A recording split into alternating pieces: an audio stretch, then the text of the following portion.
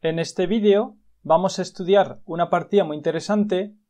en la que veremos algunas técnicas para defenderse cuando están atacando nuestro fiancheto. La partida comenzó con las jugadas D4, D6 y ahora las blancas hicieron la jugada E4 ocupando el centro con sus peones. Las negras contestaron con G6 con idea de cerrar su alfil de rey por la casilla G7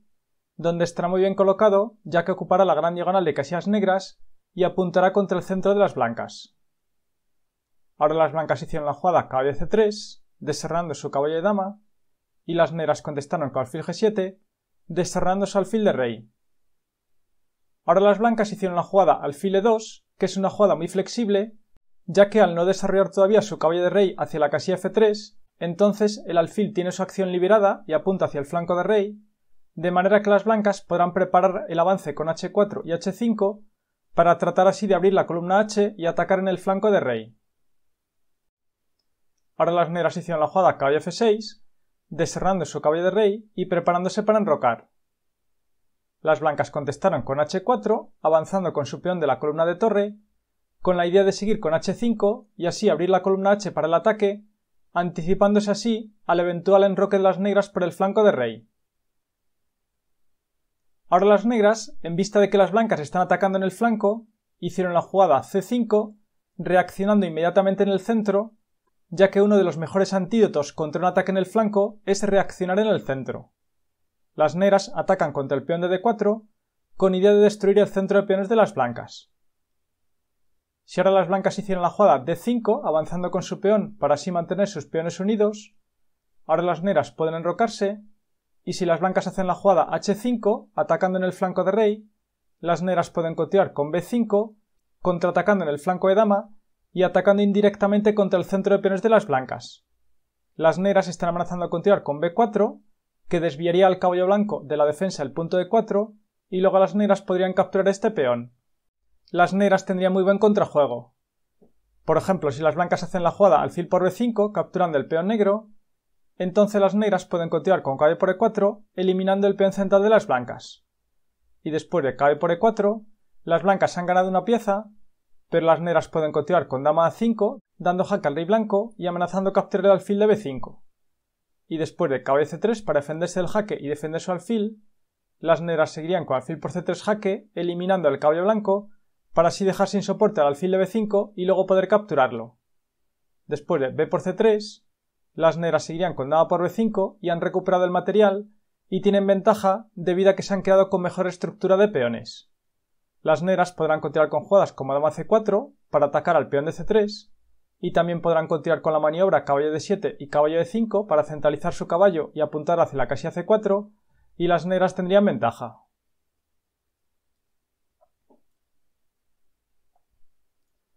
En la partida, después de la jugada c5, las blancas contestaron con d por c5, capturando el peón negro. Pero ahora las negras, en lugar de capturar el peón blanco, hicieron la jugada dama a 5, movilizando su dama y clavando al caballo blanco de c3, de manera que las negras están amenazando capturar el peón de e4 y también están amenazando capturar el peón de c5 con su dama. Si ahora las blancas hicieran la jugada c por d6, capturando otro peón, las negras seguirían con caballo por e4 y están amenazando capturar en c3 y las negras tienen ventaja. Por ejemplo, después de alfil de 2 para salir de la clavada y amenazar capturar el caballo negro, las negras seguirían con caballo por c3 y después de, por ejemplo, b por c3, las negras seguirían con e por d6 y luego podrán enrocarse con su rey, con lo que su rey estará perfectamente seguro, están amenazando capturar el peón de c3 y las negras tendrían muy buena partida.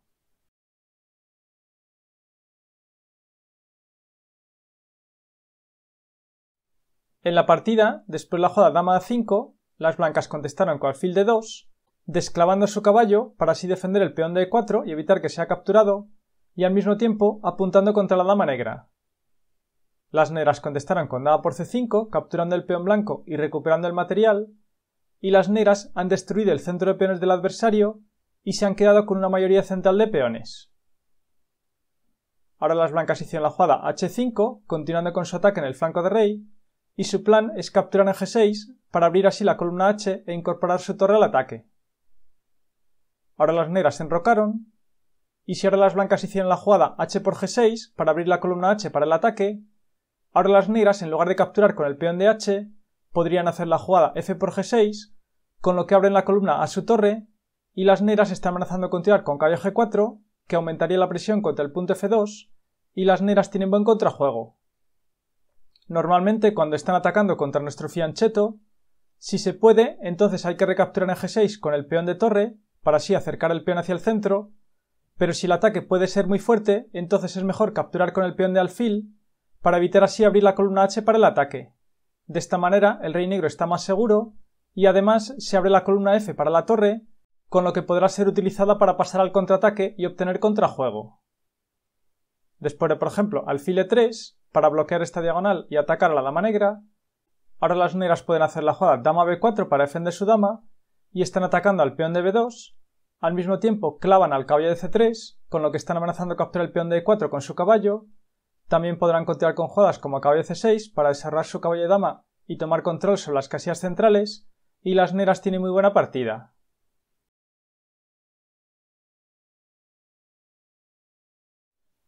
En la partida, después del enroque de las negras, Ahora las blancas hicieron la jugada caballo h3,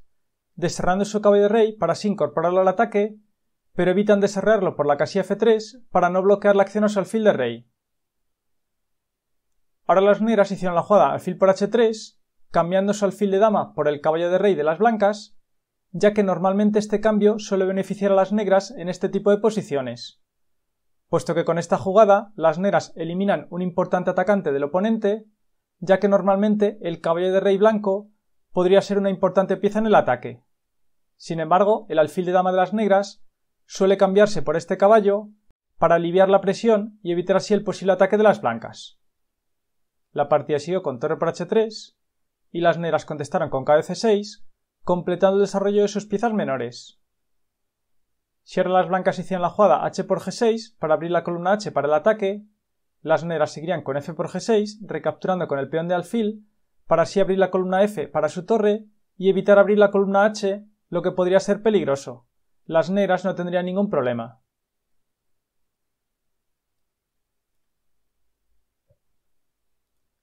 En la partida, después de la jugada caballo c6, las blancas contestaron con rey f1 para colocar su rey en una casilla más segura y alejarlo del centro. Ahora las negras hicieron la jugada torre A de 8, acercando su torre de dama hacia las columnas centrales y preparándose para hacer la jugada D5 y así contraatacar en el centro y abrir líneas para obtener finalmente contrajuego. Ahora las blancas hicieron la jugada dama C1, quitando su dama de la línea de ataque de la torre contraria, y al mismo tiempo las blancas alinean su dama con su alfil, de manera que están amenazando invadir con su alfil por la casilla H6, para así eliminar el alfil negro del fiancheto y eliminar de esta manera el mejor defensor del enroque negro. Las negras contestaron con D5, reaccionando en el centro y atacando contra el peón central del adversario. Si ahora las blancas hicieran la jugada E por D5, la partida seguiría con KB por D5, y después de, por ejemplo, KB por D5, la partida seguiría con Dama por D5, y las negras tienen muy buena partida. Podrán continuar con jugadas como Torre D6, para luego triplicar las piezas mayores en la columna D, también podrán continuar con jugadas como caballo de 4 para centralizar su caballo y atacar al alfil blanco de E2, y las negras tienen muy buen juego.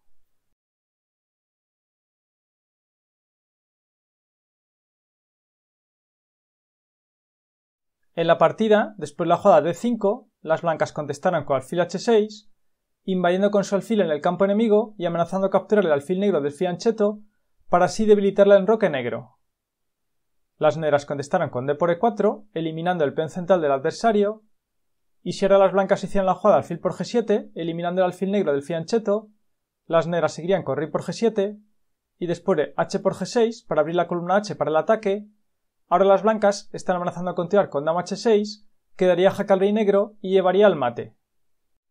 Pero después de la jugada h por g6, las negras pueden continuar con f por g6, recapturando con el peón de alfil, con lo que de esta manera las negras abren la columna F para su torre y al mismo tiempo evitan abrir la columna H y su rey podrá escapar por la casilla F7. Después de, por ejemplo, dama H6 jaque, ahora sería un error hacer la jugada rey G8 porque las blancas seguirían con KB por E4, eliminando el peón central de las negras y atacando a la dama negra y también al caballo de F6. el caballo negro no puede capturar el caballo blanco porque entonces seguiría dama por h7 que sería jaque mate. Y después de, por ejemplo, dama f5, la partida seguiría con caballo por f6 jaque y ahora el peón de h7 queda sin protección y la dama blanca podrá invadir por esta casilla. Después de, por ejemplo, torre por f6 capturando el caballo blanco, las blancas seguirían con dama por h7 jaque y después de rey f8, las blancas seguirían con dama h8 jaque y después de rey f7, las blancas pueden continuar con alfil c4 jaque, incorporando su alfil al ataque, y las blancas también podrán continuar con la jugada torre h7 para dar jaque al rey negro, y el rey negro no resistirá muchas jugadas más.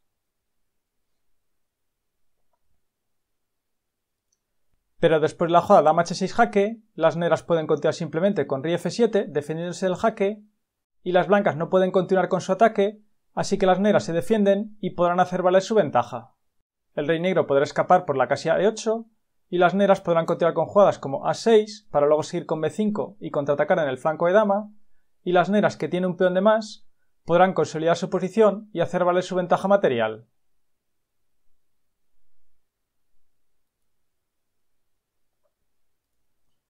En la partida, después de la jugada D por E4, las blancas contestarán con torre H4, aumentando la presión contra el peón de E4 y amenazando capturarlo. Ahora las negras hicieron la jugada alfil por h6 y después de dama por h6, las negras contestaron con g5, avanzando con su peón para evitar que las blancas capturen en g6 y de esta manera las negras cierran el flanco de rey y evitan así abrir líneas con lo que su rey estará perfectamente seguro. Ahora la torre blanca está atacada, así que las blancas contestaron con torre h3 para defender su torre y están amenazando continuar con torre g3 para luego capturar el peón de g5